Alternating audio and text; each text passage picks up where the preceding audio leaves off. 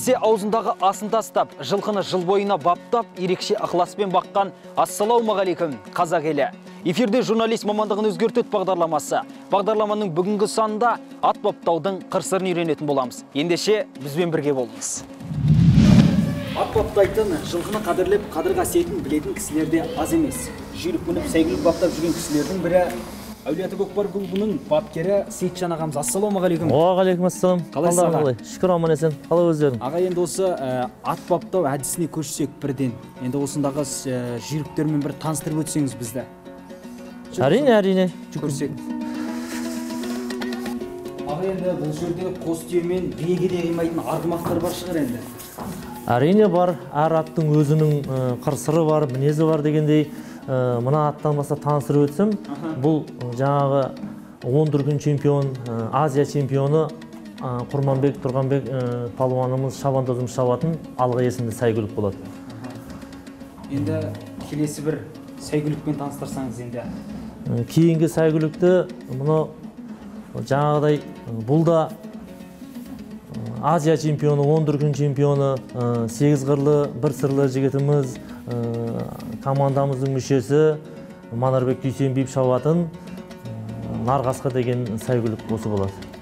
Бұл да жаңа өзің айтқандай түйе мен биеге айырылбастайтын айғырлардың бірі осы болады.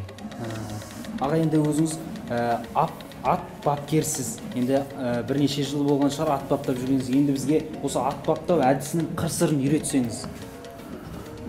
Біраз болды жұмыс жасап жүргеніме. Бұны ежелден жақсы көремін а қыр сырын жарайды үйретейін. Ендеше іске кіріссек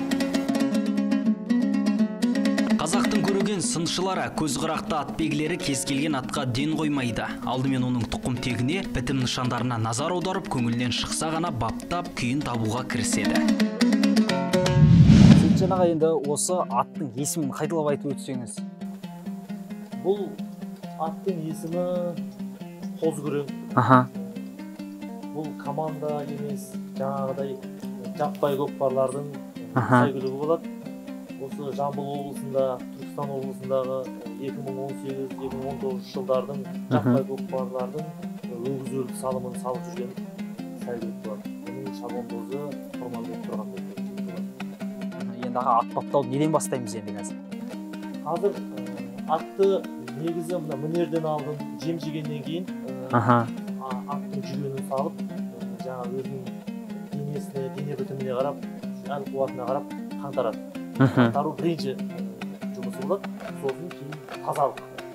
Тазалық бұл сол бірінші тазалығына қараймыз.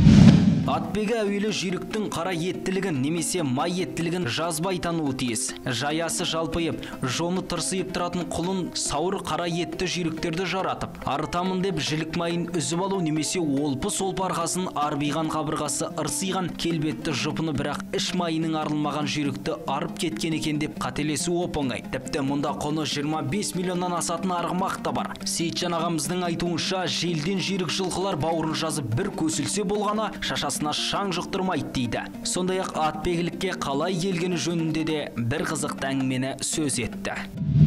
Өзім кішкене айта кетейін жаңағы жас кезімде осы ойнап жүрген кезімде жас кезінде осы төртінші бесінші сынып шығармын. Үйдің алдында жүрсем көрші ауылға көкпарға кетіп жатыр екен аттар. Сосын жақын жерде ойлап қалыппын соның артынан еріп кете бергенмін ғой. Сөйтсем сағат он жарым екен. Мен кеткенде көкпар бірде басталатын болса сол бірге дейін жаяу барғанмын ғой. Үш сағат аттың арқасынан жүгіріп кете бергенмін Э, содан бастап маған уже жылқы деген ұнап жылқы бағу қасиеті содан болған деп ойлаймын содан кейін мына жылқы үйімізде қазықтан жылқы кеткен емес.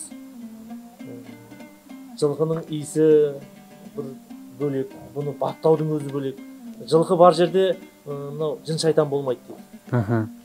Мына намазымыз бүтін. Құдайға шүкір жұмысымыз жақсы. Ы, киелі осы бақ қарап қыдыр дарыған айша бибіге келгеніме осы үш жарым жыл болыпты. Осы әулиеата клубында жұмыс, жұмыс үш жарым жыл өзім екі мың он бірден бері жылқы баптаймын. Сөйтіп мынау нұрдәулет момынов ағамызға алғысым шексіз осы жерге ы, сәлеміміз түзу екен осы жерге жұмысқа алды. Құдайға шүкір міне жұмысымыз жақсы. Мхм. Аттарды баптап өз еңбегімізді көріп жатырмыз. Міне құдай қаласа былтыр он дүркін болдық. Мхм. Ә, сәуір айында болатын жарысқа дайындығымыз мықты. Құдай қаласа осы дайындықтарымыздың арқасында 11 дүркін болсақ аллаға шексіз сансыз шүкірлер болсын деп айтамын ат баптауын мықты болса палуандарды өзі мықтылығын көрсетеді.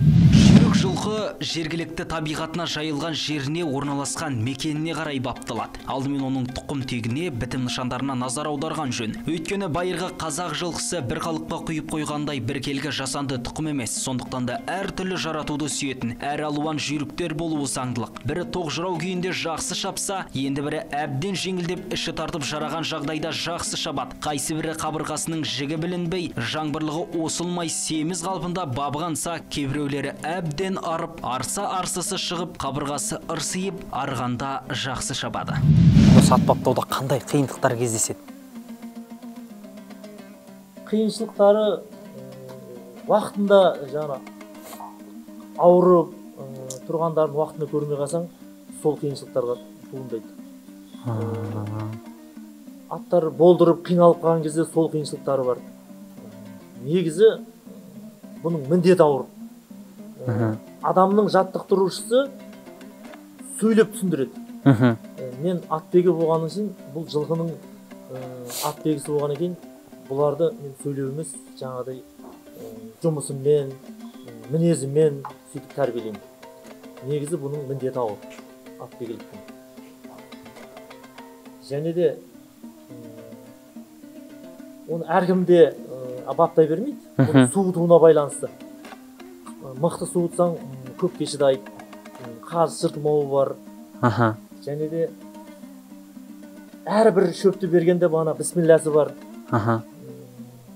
Су берсең де бісмілласын айт. Енді жем берсең де бісмілласын айтсаң ол ат тойымды болып көңілді болады енді шөп демекші бұларға қандай ә, тағамдар яғни жем шөптер беріп тұрасыздар бұларға? Әлде бір белгілі бір салынатын витаминдер бар ма? Берілетін? Әрине оның жем шөптердің де түр түрі бар ә, жоңышқасы бар. Аха. Сосын ә, бидайы бар арпасы бар ә, жұмыртқасы бар ә, жаңағыдай сәбізі бар. Мхм.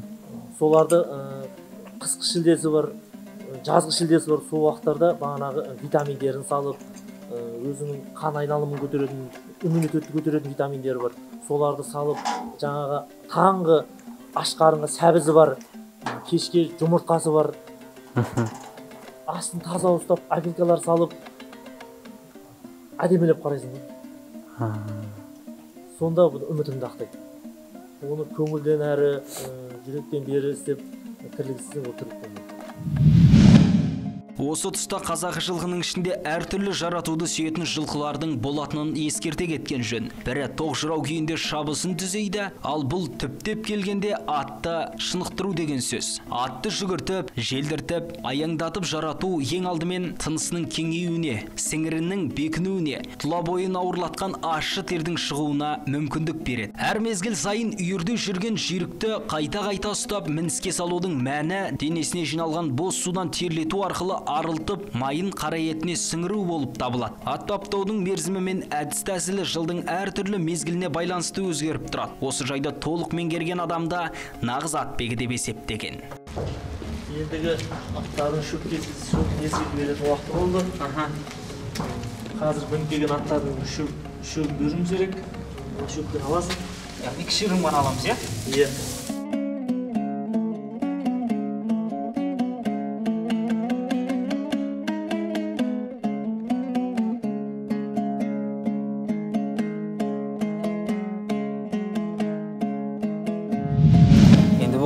Бұл салада да бір өзіндік қызық қызықты сәттер бар шығар. Сол бір қызықты сәттермен бөлісе отырсаңыз. Қызықты сәттер.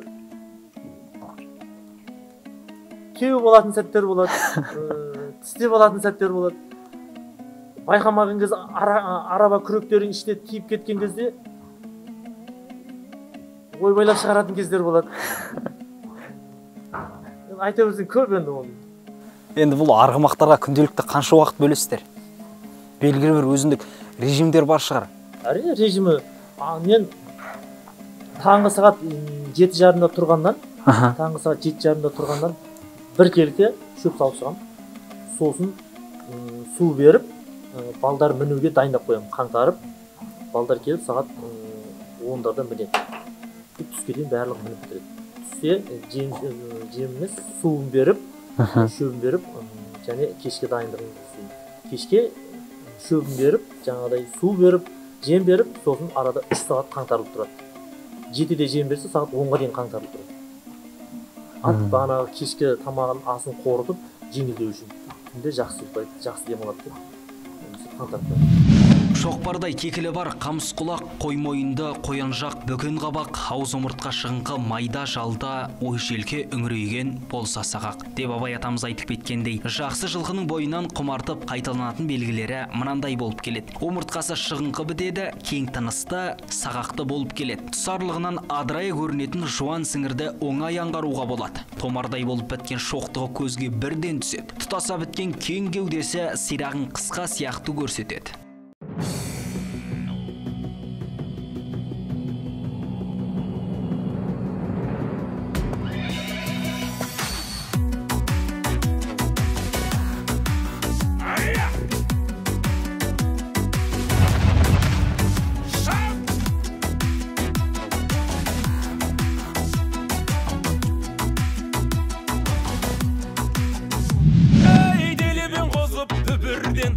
Тіктелсе тәнің бөгілген добаға түспей басылмас бойдағы қаның жүгірген. Бойдағы қаның жүгірген. Аға енді мен де ауылдың баласымын. Ауылда атқа жем шөп беріп өскен балалардың бірімін. Енді қалай менің осы кәсіби іспен айналысу қолымнан келе ме екен жалпы? Енді ер жігітке қырық өнер де аз. Ол жаңағыдай өз өнеріңде жылқыны сүйдіп жылқыны дамытып ұлттық спортымызды дамытып көкпарға деген м, сүйіспеншілігімізді дамытып сондай жұмыспен айналыссаң сізге алғысым шексіз. Сенің мына қолдарыңнан сөздеріңнен бал тамып тұр ғой. Соған қарағанда жылқы өнері саған бағу баптау түк емес деп ойлаймын. Иә рахмет аға. Енді бізге осы жылқының ә, баптаудың қыр сырын үйреттіңіз кішігірім болса да. Енді осы біздің журналист мамандығын өзгертеді бағдарламасының құрметті көрермендеріне өзіңіздің бір жүрек жарды тілегіңізді арнасаңыз. Ат баптауын дамытайық ұлттық спортымызды дамытайық. Ы, мына індеттен аман есен құтылып алайық. Құдай қаласа барлықтарыңа алғысым шексіз. Денсаулықтарыңыз мықты болсын. Қазақстан жасай берсін ұлттық спортымыз дами берсін. Суық тер төккізетін тау жаман қияметтен аттар бар өткізетін қорымтас қиябеттен жол барда ор табылар тұяққа жүгіретін аттың да қорқағы бар. Сақсынып сүрінетін қиқулап жар салдың ба тағдырлай даралайтын аттар бар өткізетін құс тұрса қарамайтын. Құрметті ағайын аттарымыз сүрінбесін еліміз бүлінбесін. Бүгіндікке бағдарламамыз осымен тәмам. Келесі кездескенше қош сау болыңыздар. Асаулармен арпалыспай жан берісіп жан алыспай жон арқадан тер ағызбай шапқан көкпар көкпар ма шоқтай қарып атын қосқан оқ таяғы батылмастан шаппай далып алқынбастан шапқан көкпар көкпар ма шапқан көкпар көкпар ма